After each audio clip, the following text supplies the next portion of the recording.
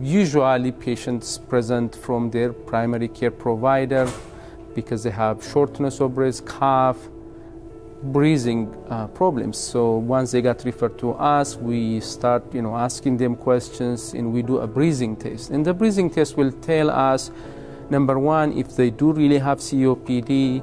Number two, how bad is their COPD? It's, it's very important because if COPD could be mild, moderate, severe, and very severe, and the treatment is very different depending on the severity, the severity level.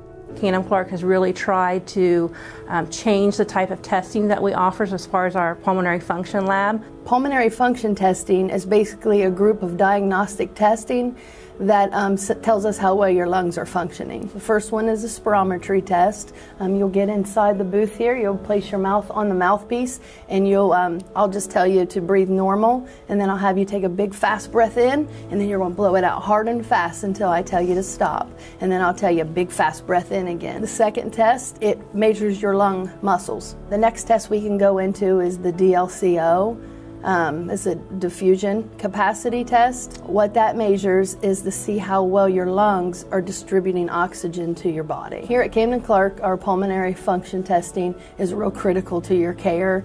Um, if you've already have COPD and you just feel short of breath still and you know you just kind of blowing it off for old age and, and things like that, weight gain, um, come in and see your doctor and let them prescribe the test for you. We also have a pulmonary stress machine now, which will help the cardiologist decide is it a heart or is it a lung issue. It does complete pulmonary function testing. It does cardiopulmonary stress testing and it does nutritional testing. So we have one system that can cover the myriad of all different aspects. So we can we can help the cardiologist out, we can help the pulmonary physicians, the general practitioners, the dietitians. It's got a broad spectrum of uses in the facility. We do offer outpatient services. So maybe you have um, a snoring and you have sleep apnea, then you would go through our uh, sleep lab and get tested to see if you need support BiPAP, CPAP um, at night. It is very important for someone to have a good night's sleep, especially with like COPD.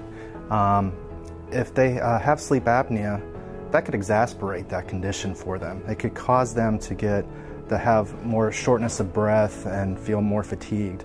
Um, a lot of times, uh, if we get a patient in that has COPD and we're able to diagnose that they also have obstructive sleep apnea, and we treat that sleep apnea, that will help them with their breathing and help the condition so they don't have those exasperations and end up in the hospital or taking a lot of medications and stuff like that. We normalize our sleep just to justify that why we feel tired.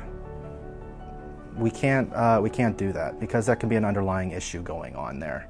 Um, if you're feeling tired throughout the day, if you're feeling uh, that you did not get a restful night's sleep, then there could be something going on like uh, sleep apnea.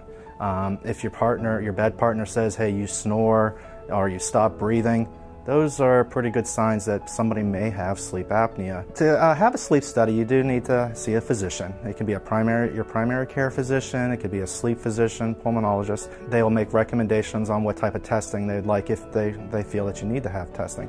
Camden Clark has really strived to do a continuum of care as far as taking care of our patients with lung disease.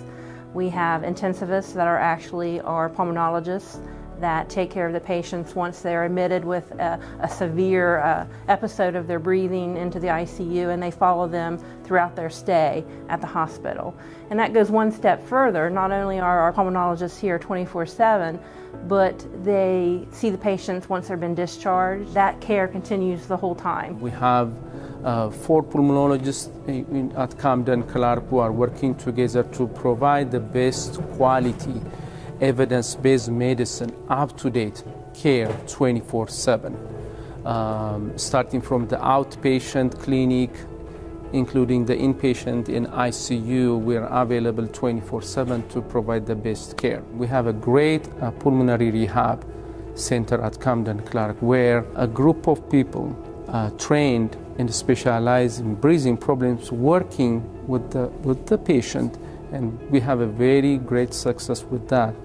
Almost every people that went through that process, they tell us that they can breathe better, they can do things better, they can walk farther, um, and they are able to enjoy quality of life better.